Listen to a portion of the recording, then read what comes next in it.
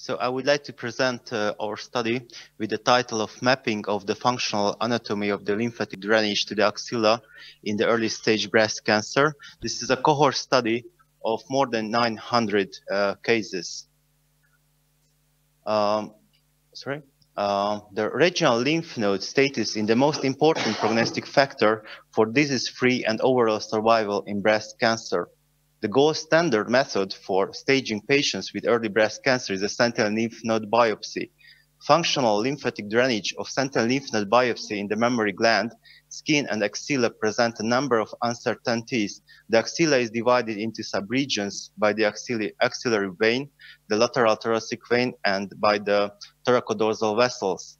Here you can see the, the, the anatomic preparation of the axilla. You can see the anterior region, the central region in the middle of the axilla, the posterior region in the back of the axilla, the lateral region to lateral from the uh, thoracodorsal vessels, and the apical region behind the uh, pectoralis, uh, pectoralis minor muscle. Uh, we had many aims of this investigation, and the first aim was to examine the localization, of the sentinel lymph node in the axillary, axillary subregion, anterior, posterior, central, lateral, or apical in patients with early breast cancer. Another aim was to statistically assess correlation between the location, the size, histological parameters of primary breast tumor, and the subregion of the sentinel lymph node.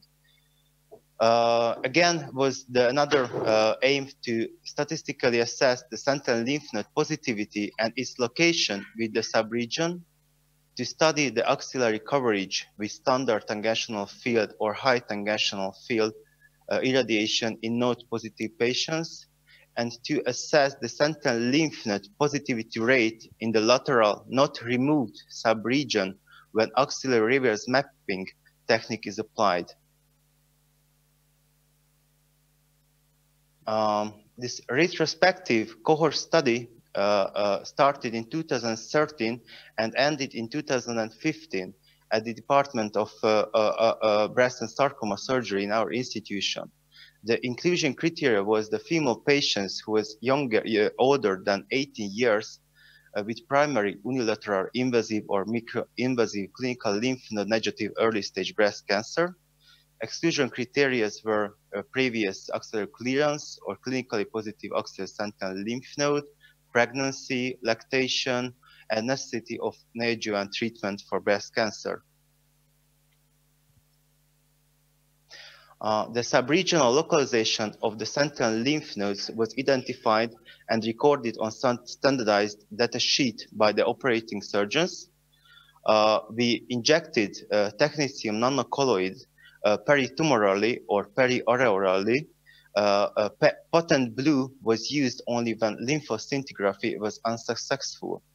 Uh, following breast conserving surgery, patients underwent 3D conformal radiotherapy from two opposing tangential fields. Axillary volumes level 1, 2, and 3 were contoured using the radiation therapy oncology group contouring atlas. Uh, more than 900 women were enrolled to the study. The average age was 64 years. 63 patients were excluded from the study because of the lymphoproliferative disease, PT3 lesions, or incomplete data. The mean size of the removed primary tumors was almost 22 millimeters with a median of 90 millimeters. The average of 1.65 sentinel lymph nodes were harvested per operation and sentinel lymph node positivity rate was almost 22%. We injected the uh, isotope or blue dye uh, uh, uh in 60% periareolary, that it's mainly the uh, patent blue and and and uh, technetium, and almost in 40% peritumorally the technetium isotope. In 90%, we used only the isotope. In 4.6%, we used uh, patent blue. And in 5%, we used both uh, technique.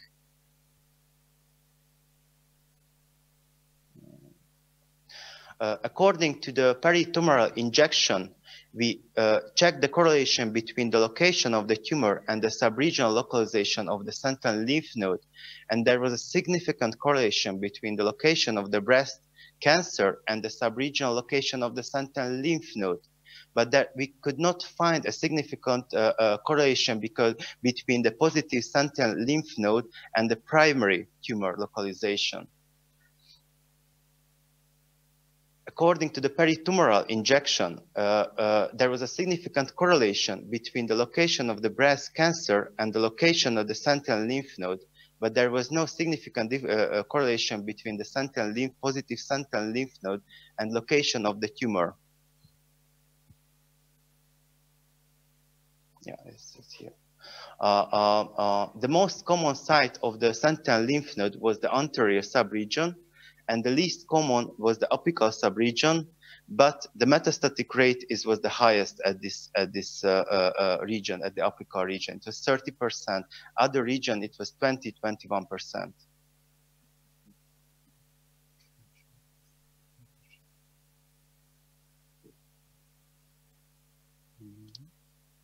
Megy. Ja, most már megy. We check the irradiation fields and Berg level coverage. At level one, uh, uh, Berg level, the high tangential field increased the complete coverage of 65% uh, of the axilla at the level one. At level two, the rate out of out of field with st uh, standard tangential field was 72%, and at level three, the coverage was poor you can see here that the coverage was, was less than 10%.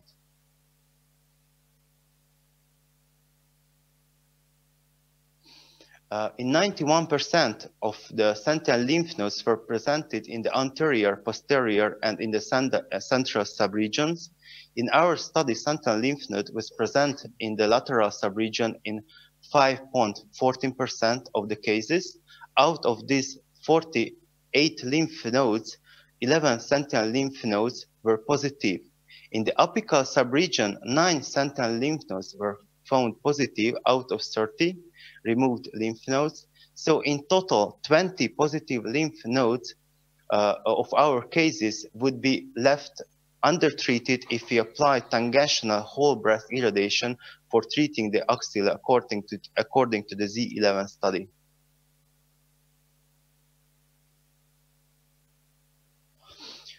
What about the axillary reverse mapping techniques? We inject blue dye into the arm and the lymph nodes that are stained with blue dye should be preserved to prevent postoperative lymphedema.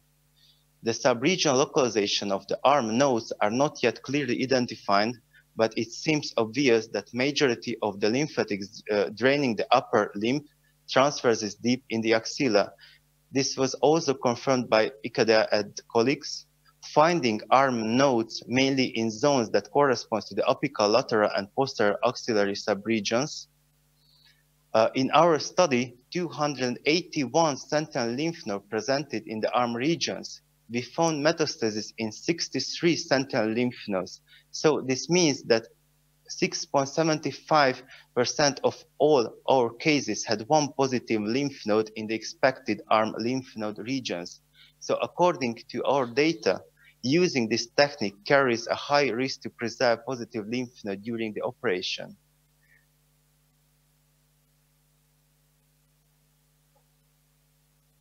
In, in, in, conclusion, there were no clinically significant correlation between the clinical pathological parameters of the primary breast cancer and the subregional localization of the sentinel lymph node.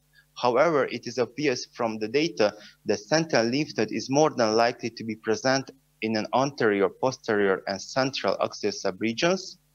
The positive lymph node rate at the arm regions is not negligible. According to these results, the oncological safety of arm technique is, is uh, questionable. In our view, for the proper treatment of the axilla and additional targeted axillary radiotherapy is needed. This correlates with the results of the Hungarian OTOASOR prospective randomized clinical trial. Thank you for your attention.